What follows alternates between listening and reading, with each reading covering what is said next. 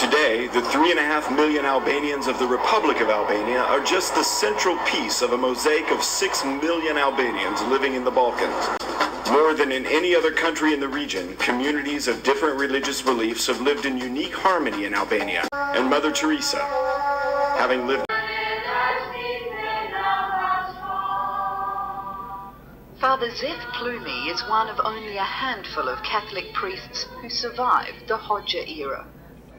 In all, he spent 26 years in prisons and labour camps, enduring repeated torture. Father Pllumi was released in 1990, but true freedom came two years later, when the Democrats ousted the Communists at the polls. Today, the rush is on to reclaim the faithful and to indoctrinate a whole generation of Albanians who grew up in a religious void. Before Hoxha's rule, 70% of Albanians were Muslim. Today, they too are busy regrouping.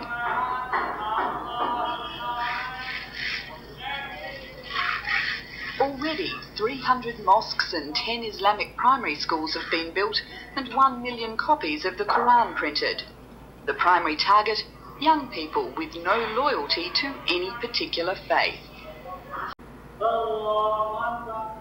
The Muslim world is investing heavily in Albania, but any suggestion of fundamentalism is quickly denied by Albania's Islamic leader, Hafiz Sabri Koçi. He maintains there are excellent relations between the three established faiths. Velen Shqipëri asë që ka pas fundamentalizm dhe asë që do të ketë. Vetëm mund quhet fundamentalizm politik. Until now, we built from the foundation 50 new churches. Orthodox Archbishop Anastasios Yannoulatos ministers to Albania's ethnic Greek minority. He's worried the influx of missionaries may upset Albania's fine religious balance. The powerful Orthodox Church takes on the self-anointed role as keeper of the national identity in a country that, officially at least, is 98% Orthodox Christian. And another conflict, one in which the church is at play. Epirus is a province of Greece bordering Albania. The frontier runs raggedly through these mountains, but many Greeks, especially those in the church, don't recognize it. They call southern Albania northern Epirus. Sometimes the politicians are to blame because they raise that uh, those feelings and then they cannot control them. For instance, we cannot say that Macedonia must be Greek because it was Greek 2,000 years ago. That's out of question. Father Apostolos' church is only a few meters from the Greek-Albanian border. He speaks openly of Greece liberating the Orthodox minority in Albania.